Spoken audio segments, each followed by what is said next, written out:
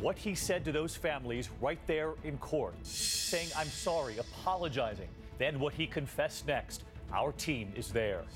Also breaking another governor in the South taking action tonight, this time executive order saying the Confederate flag must come down, just as that beloved pastor is honored. The deadly storms, the power going out for half a million, the Amtrak train stranded. And at this hour, the new storm's now powering up. Reports of five people hit by lightning. The growing mystery outside one American city tonight, at least four women now dead, the FBI joining the investigation. And caught the patient who accidentally records what his doctor was really saying while he was under anesthesia. You will hear it for yourself tonight. From ABC News World Headquarters, this is ABC World News Tonight with David Muir. Good evening, and it's great to have you with us here on a Wednesday night. And we begin in Boston tonight. Bomber Dzhokhar Tsarnaev in court to be formally sentenced to death. We knew he would have a moment to talk, but were unsure if he would use it. He did talking to the victims and their families, so many showing up to the federal courthouse, addressing Tsarnaev, calling him a coward, despicable. Then Tsarnaev himself with a message for his victims and their families. ABC's Ron Claiborne leading us off from Boston with what he said. He entered the courtroom smiling, but just moments before he was formally sentenced to death, Dzhokhar Tsarnaev spoke for the first time, softly and without emotion. I am sorry for the lives that I've taken, for the suffering that I've caused you, for the damage that I've done. Without ever turning to face the victims gathered in the courtroom, he confessed to his crime. If there is any lingering doubt, I did it along with my brother. That stunning moment following three hours of gut wrenching impact statements from victims like Bill Richard, seen here on that day standing with his family, Tsarnaev just a few feet away.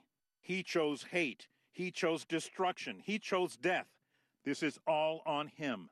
Richard's eight year old son Martin was killed. His then seven year old daughter Jane had her leg amputated.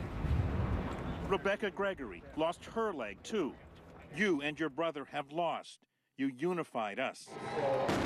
In the 800 days since the bombing, Tsarnaev has only been seen in that prison cell surveillance video, never taking the witness stand at his trial. But today he said he heard the pain of those who testified against him. I was listening, the suffering that was, and the hardship that still is. Never apologize for a thing. That's it. That's all I got to say. I wanted a sincere sorry. I wanted to know, you know, uh, but I don't think it really matters. No, he's not sorry. If he was sorry, he would have never did that. Tsarnaev will eventually be moved from Boston to a prison in Terre Haute, Indiana, which is where federal death row inmates are held until execution. Tonight, his lawyers are saying they will file an appeal of his conviction. David, that could take many years. All right, Ron Claiborne leading us off from Boston. Ron, thank you. And to the South tonight, and a dramatic new move from another governor when it comes to the Confederate flag. And the decision comes just as a community paid its respects to Reverend Clementa Pinckney, the leader of that Bible study at Mother Emanuel Church, lying in state inside the rotunda of the South Carolina Capitol building flying outside that Confederate flag on the State House grounds. Meantime, the governor of Alabama now taking executive action. ABC's Linsey Davis in Charleston tonight.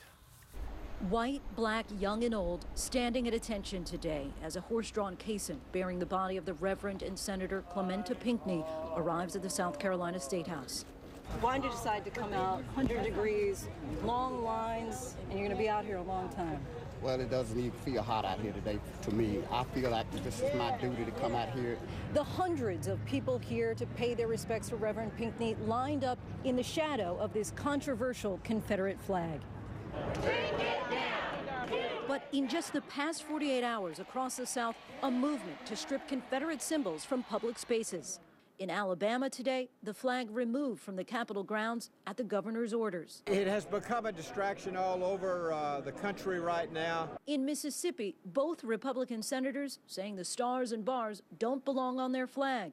In Kentucky, officials wanting this statue of Confederate President Jefferson Davis out of the state house. And four states now planning to ban license plates with the Confederate emblem. Here in South Carolina, powerful Congressman Jim Clyburn is lobbying fellow lawmakers. What would you say, though, to convince those who are still saying, let's keep the flag up? You're not celebrating heritage, you're celebrating hate. But at Dixie Outfitters in South Carolina, business is booming with shoppers like Tammy Jackway. Just because one person does something um, that isn't right, that hurts other people, we shouldn't just, you know, say we're just going to get rid of a flag that represents thousands of people that have died. The flag is still flying here at the State House, but tonight, South Carolina's historic military college, the Citadel, has voted to move theirs. One of the victims of the shooting was a Citadel graduate. David? Linsey Davis, our thanks to you again tonight. We turn now to the deadly storms and the new threat tonight. At this hour, 30 million bracing for round two. Flash flood watches from Chicago to Des Moines, just 24 hours after a massive storm system marched all the way to the East Coast. A tree snapping in half in Washington Township, New Jersey.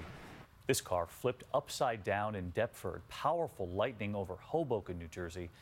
And there is late word coming in at this hour of five people struck by lightning at a construction site in Colorado Springs. Three taken to the hospital, one in serious condition as those new storms move in. Ginger Zee with the storm track in a moment, but first, Tom Llamas on the ground where they're still recovering from the first round of storms. Tonight, in parts of the Northeast, homes, cars, and fences broken and buried underneath piles of trees. This cell phone video shows the storm slamming Washington Township, New Jersey.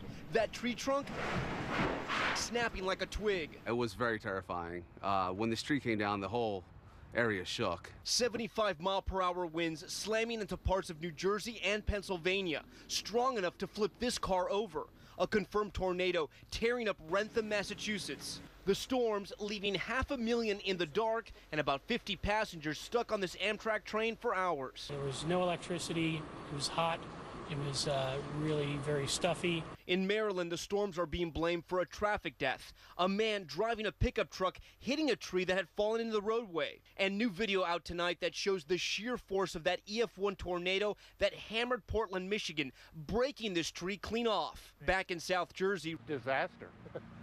yes, I never saw anything like it. Resident Bob Ayers thinks a tornado hit his backyard. When the storm rolled through, he says he looked out his window and saw something he'll never forget. The tree was falling just at that minute, just and it hit the house. I can't believe the power of it.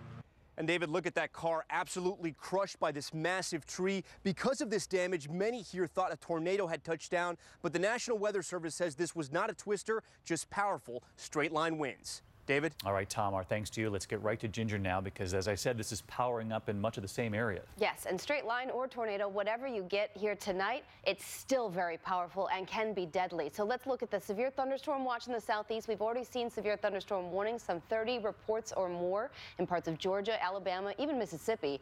But it's overnight that I'm concerned about the area here in flash flood watch from northwest Indiana back into eastern Iowa. I put on a computer model here. Look what time it is 1 a.m. Central Time eastern Iowa blowing up with strong storms. Again, some of the heaviest rainfall rates could top two plus inches per hour. So that's tonight. Then tomorrow, that an elevated risk area includes Cincinnati and Evansville, but we'll keep that chance all the way to D.C. All the way east, all over again. Ginger, thank you. And as you know, there are also dramatic images coming in at this hour from Southern California. A fast moving wildfire outside Los Angeles. You can see how close those homes are. Evacuations underway as aircraft fight the blaze from above. One firefighter now injured. Authorities in California tonight now saying they're facing the worst fire conditions on record. We have major new developments in the case of those convicted killers on the run, now believed to be armed and dangerous. Tonight, a new clue from inside that hunting cabin, much like this one in those upstate New York woods. They believe those cabins in the area had guns inside and now fear those guns are in the hands of the convicts and stunning new revelations about the woman, the prison worker accused of helping them escape. ABC's Linsey Janis is there again.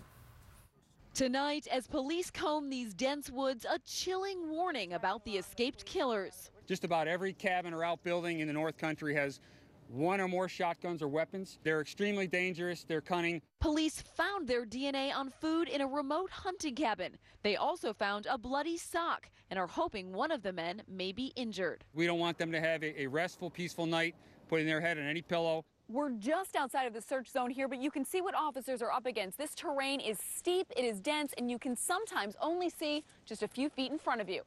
Joyce Mitchell, who worked in the prison tailor shop, already charged with helping the killers escape. Prosecutors say she had a relationship with both Richard Matt and David Sweat.